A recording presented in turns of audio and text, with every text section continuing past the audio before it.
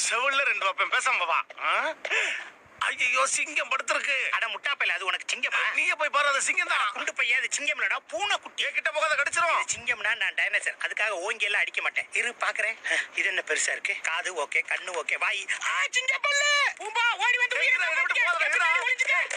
அது சிங்கம் தான் ஆனா சிறுசுடா. டேய், அது என்னை விட பெருசுடா? அப்பனா நம்ம இதை வீட்டுல எடுத்துட்டு போய் வளர்க்கலாமா ஆ, ஓகேவா? சரி சரி சரி. ஆனா ஒண்ணு நான் தான் சுவிட்சா போன தொடப்பேன் கக்கா போன கழுவுவேன். நீ தான் அவன் அடுத்து- கக்காவ போற. உன்னை சாப்பிட்டு என்னைய குச்சி மாதிரி வச்சு பல்லு குத்த போறான். ஆனா அவன் ஒரு நாள் பெரிய பலசாலி ஆயிட்டான்னா நம்ம பக்கம் தான் இருப்பான். நான் மட்டும் என்ன சொன்னேன்? ஒரு நாள் அவன் நம்ம பக்கம் இருப்பான். உன் மண்டையில நல்லா ஏத்திக்க.